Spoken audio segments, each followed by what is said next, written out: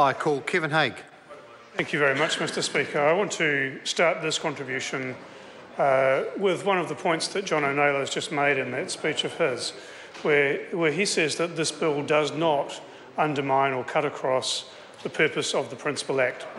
Um, well, Mr Speaker, the purpose of the Principal Act is harm minimisation. Uh, the Law Commission and this House was clear that one of the ways that that needed to be done was by restricting the hours that alcohol was available for sale. So that seems kind of cutting acrossy to me. And then what we said in the debate around this bill uh, when, it, uh, when it went through the House in 2012 um, was that uh, we, would, we would deal with events that fell outside of normal licensed hours by means of special licenses. Um, and uh, we specified that the Rugby World Cup, and indeed international sporting fixtures more generally, were precisely the kinds of things for which special licenses were created. And Mr Speaker, what that does, of course, is it enables licensing committees to assess an application for a special licence according to the circumstances of the applicant and enables the licensing committee to impose conditions that are able to meet the primary objective of the Principal Act to minimise harm associated with that extension of licensed hours.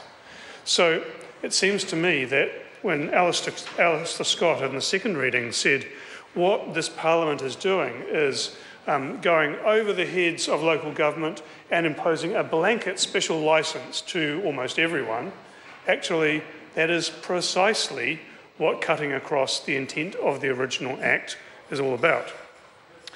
So, Mr Speaker, uh, it would have been possible if we are creating a special licence for everyone effectively, um, then the onus should be on this House to set the conditions at the level that, that licensing committees would have chosen to set at the most restrictive level uh, had they been assessing individual applications for special licences.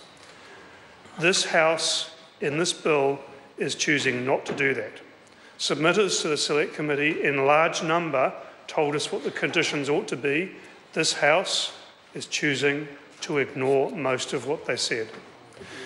I want to come to the issue of whether or not this bill is necessary because in a number of the contributions uh, this afternoon and this evening, I've heard uh, members uh, continuing to quote the same kinds of statements that we've heard from proponents of the bill that the special licensing regime would have been the right way to do this, but sadly it just isn't working. You know, that people aren't getting licenses, the licenses they're getting have onerous conditions. I just want to put on record the evidence that was heard by the Select Committee about that issue. So here's the evidence, Mr Speaker.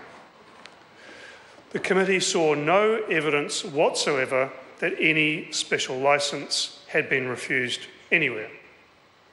The Select Committee received no submission from any licensee saying, Well, I received a special licence, but the conditions on it were too onerous.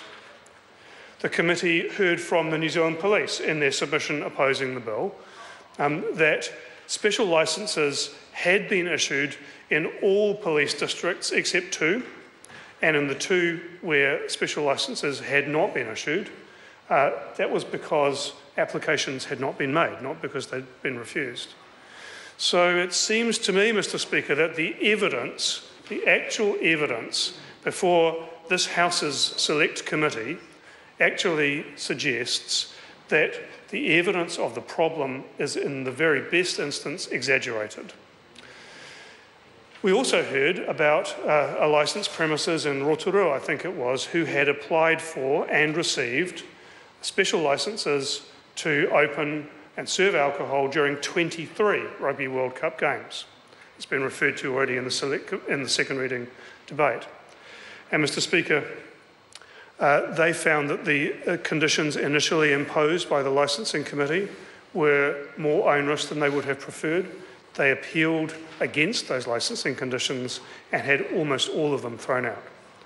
So it seems to me that if indeed there, there is a problem in some parts of the country with um, perhaps bizarre or maybe more onerous conditions being imposed, actually that suggests that the courts themselves will in fact even that problem out. Mr Speaker, when we heard in the, um, in the lead up to, to uh, this bill being considered, uh, the case that the special licensing regime was not working as this House intended, the correct response to that problem is that we ought to have a review of implementation of the special licensing uh, regime and then to create and, and then to correct problems with it if indeed they exist. And Mr Speaker, the reason that's important is uh, for, is for one that, um, that Grant Robertson, in fact, in the House in this reading, uh, has already made. What next? What next, Mr Speaker? If this is the approach that we're taking to the Rugby World Cup, the thinnest end of the wedge, will the next bill be about the Cricket World Cup or the Netball World Cup um, or, the or, or the Rowing World Cup? You know, the, what is actually happening here is industry and people who were um, who are disgruntled with the original legislation that this House passed in 2012 are attempting to relitigate that point. So, Mr. Speaker, a review of the implementation of special licensing is required, and the Green Party urges the Minister of Justice to initiate such, such an inquiry.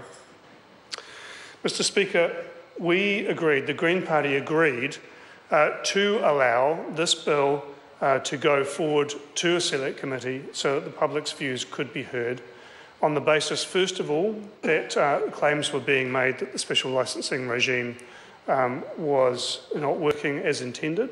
Those have proved exaggerated at best. And also on the basis of undertakings made by the ACT and national parties. I'm sad to say that those undertakings have not been honoured. Mr Speaker, uh, I want to move now to, uh, to talk about another of the arguments that's been made by the bill's proponents.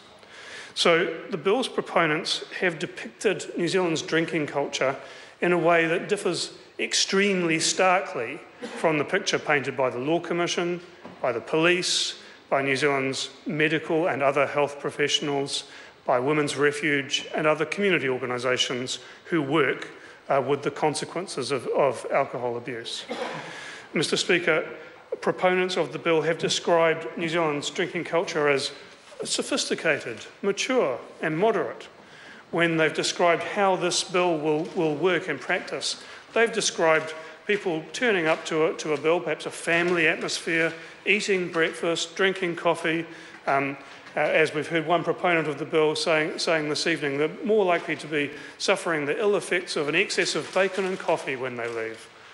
Well, Mr. Speaker, I'm sure we can all probably think of uh, premises like that. I certain, certainly can. Um, but, Mr. Speaker, my flat in Wellington is about a block away from Courtenay Place.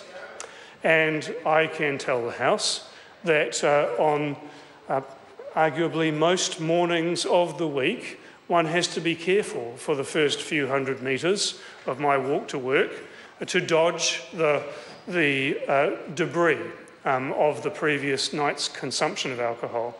Specifically, the vomit, whether it be dry or still wet, actually is a regular feature of inner city Wellington.